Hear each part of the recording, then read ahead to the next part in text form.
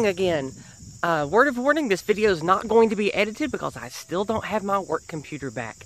This is going to be a short, angry rant about how terrible certain things are.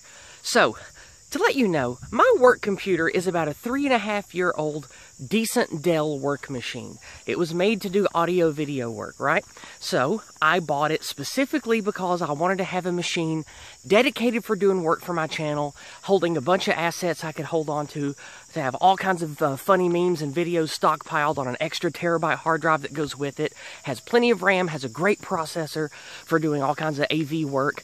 Uh, it has uh, my editing software on it etc., etc. So it's a dedicated work machine for what I do, for Discordant Dragons, for all the activism stuff I do, all the funny memes I collect, the artwork, the, the articles, the images I collect to make my, you know, pro-white propaganda stuff, all of that.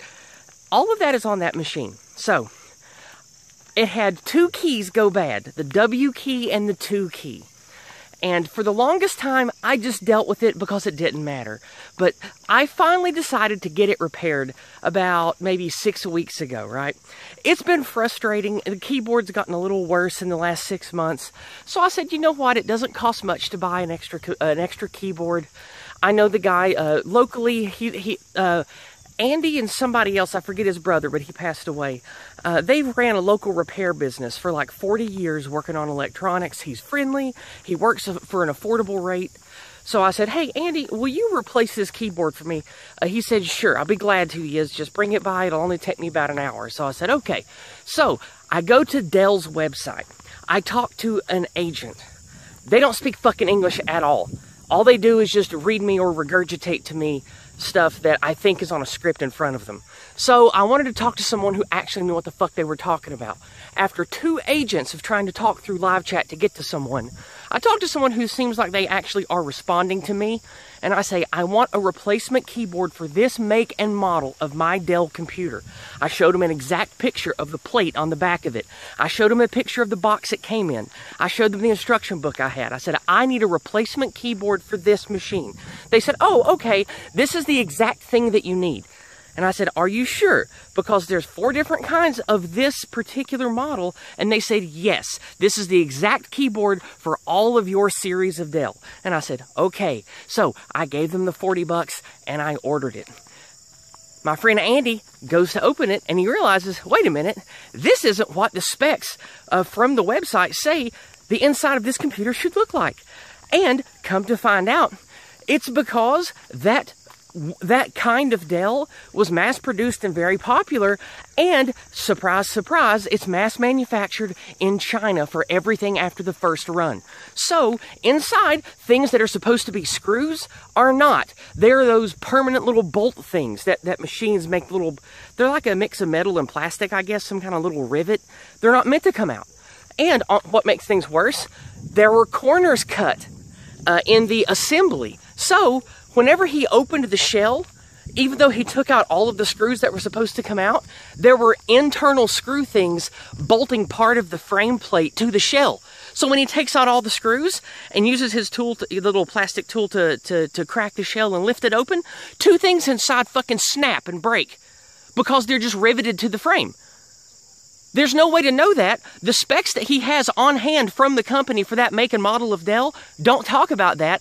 And he says that he's seeing this more and more with all of the electronics that he has to repair. They're not made to spec. They all come from China. They're mass manufactured garbage. And in China, they cut corners and don't follow the specs correctly. So it makes them a nightmare to try to repair.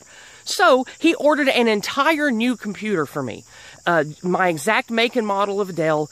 Uh, he knows a guy that has a bunch of extra ones, so for like 600 bucks, he ordered a new one, a whole kit and caboodle, and he said that he's going to either cobble together from that one to fix mine, or just put my hard drives in the new one and see how that works. So, I hate how everything is.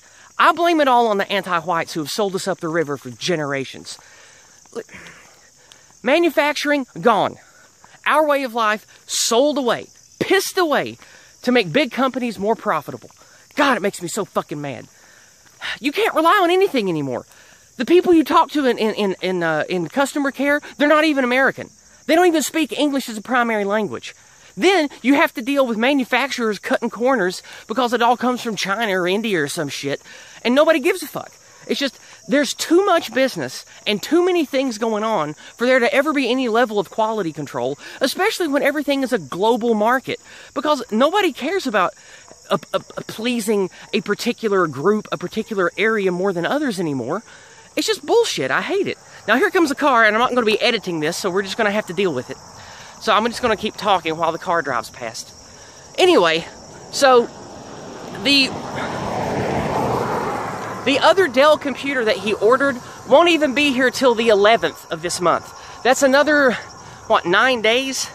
See, today is Monday, and I think that means it's the the 12th. I can check on my phone if it will scroll down while I'm talking. It is September 5th already. Okay, so another six days. Anyway, so it'll come in on the 11th, hopefully. And then in the next day or two after that, he says he should be able to fix it and get it working again, or just put my components in a new shell. So, tonight, uh, I'm shooting this Monday morning. It's early Monday morning. It is rather beautiful. It has been a stormy wonderland all weekend. It has come wonderful rainstorms. I have enjoyed the weather. It has been a good Yizz weekend, but uh, thankfully the rain let up earlier this morning, so I knew that I could come outside and make a morning walk video. And I'm just going to upload this raw. Uh, it's probably going to be way too high res. Uh, th this short video is probably going to be a bazillion megabytes because that's how phones do.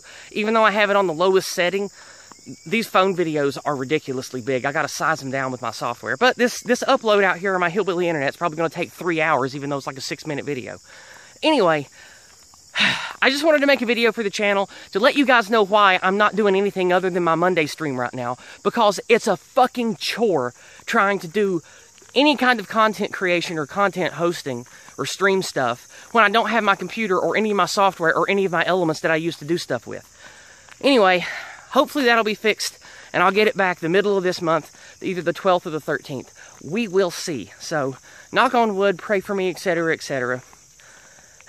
but the show must go on. So I'm going to get back to doing Discordant Dragons on Monday nights for the next two or three weeks, even without my work machine. So it's going to be choppy. It's not going to be as smooth or as good as normal, which I know it ain't the best because I live in the middle of fucking nowhere with terrible internet, but I'm going to do the best I can to bring you quality entertainment, make you laugh, talk about news, and share, hopefully, something positive with you about this crazy world we live in.